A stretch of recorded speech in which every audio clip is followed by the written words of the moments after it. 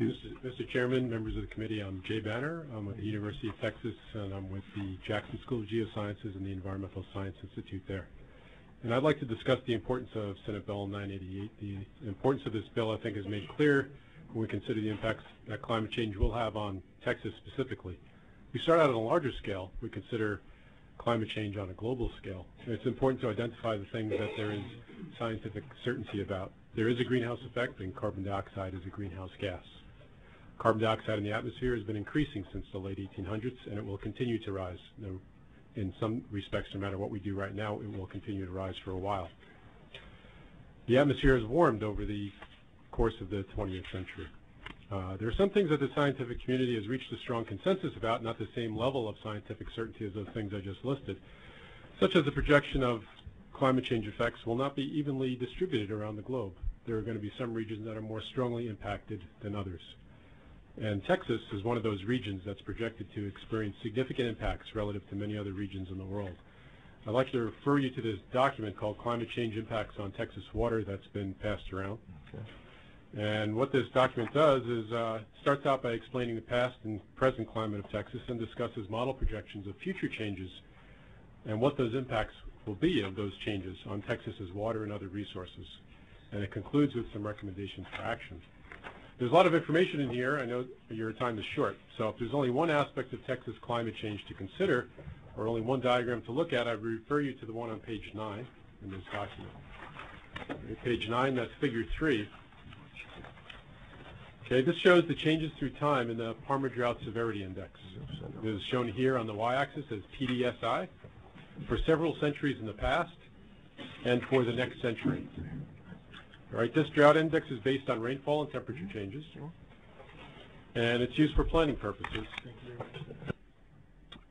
If we look at the, this current century, that this, this most recent century we just came out of, the 1950s, you can see the drought there. If we look at the red curve, the red curve is past changes in the drought severity index. Okay, this is based on tree ring measurements. Okay, so these are data sort of. Are you on the the top one or the bottom one? Are they both? I'm on the uh, bottom, on, on, the top panel of figure three. That goes from 1800 to 2100. Oh, oh, oh, okay, I see. So the bottom one is the, oh, it goes back to 1050. Right. And then up to 1350, 1350. and then we jump to 1800. Okay, why do you jump there? Just because you don't have the data or something? No, there's there's actually plenty of data. We're just looking okay. to uh, just, highlight some of it. But there's a okay, so you're doing 300 years from 1000 to 1350, and then you're doing another 300 years. Another 300 years. Okay, I got it. Correct. Thank you. Okay. So if we look at the 1950s, we see that that red line takes a significant dip there. Right. That's the historical drought of record that Texas uses for planning purposes. Right.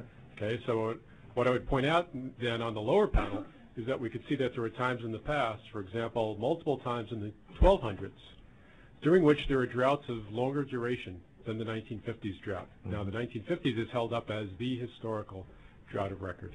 What this says is that these times in the past, 1200s, which precede any anthropogenic climate change impacts. No matter which side of that debate you're on, it doesn't matter because these are changes that occurred without any human effects because it was before there were any possible effects by human activity. That's in the past. Now, if we look at that same diagram, the top panel, that green curve, is then model projections for the future. Okay, these are based on climate models from the Intergovernmental Panel on Climate Change, their 2007 report, the fourth assessment report. And so these complex numerical models that were developed by multiple groups around the world, international research groups, all show the same thing, right? They all show that with the onset of warming in the 21st century, what we're, what, what's projected to be seen is an increase in the dryness or the aridity of this part of Texas. This is for West Texas that this is shown. Now, there are multiple models that there are over a dozen models that have been run, and there's some disagreement in terms of exactly when the onset and the duration of this intense drought will be. But what there's agreement by essentially all of these models is that this will occur. Whether it's years from now or decades from now is basically the level of disagreement. But what you can see from the green curve and how it dips down is that the average climate state in the future here is going to be just like the 1950s drought of record. So instead of that being an anomaly, the projections are that will be the typical climate that we may experience, according to these projections. Well, I, I just heard, if I may, Chairman, if I just heard him say there's gonna be more rain. Oh, there, I, I stated uh, more intense rainfall will become in shorter bursts. So we have Oh, a okay. paradoxical situation, more flooding and more drought because you're not evenly distributing rainfall. Okay, thank you. So whether it's years off or decades off, Texas needs to be prepared. And I think Senate Bill 988 will have major agencies, including those that oversee our water, our agriculture, public safety, and utilities, consider how climate change will impact these sectors of the state. I've only talked about climate change impacts on water here, but there will also be impacts on public health, sea level, wildlife, the state's economy, and these effects are outlined also in this paper. So given that the possibility that climate change impacts will be very significant, I think it will be very costly to the state if such changes as proposed in Senate Bill 988 are not considered now. And I think the, the bill is a critical first step in addressing these impacts. Um, let me end with pointing out that the main recommendation of this paper that I passed around is that the state establish a Texas Climate Consortium, which will act in a similar manner to the Intergovernmental Panel for Climate Change, but will be at a regional level for Texas. It'll examine the latest information and projections for climate change and its impacts in this region.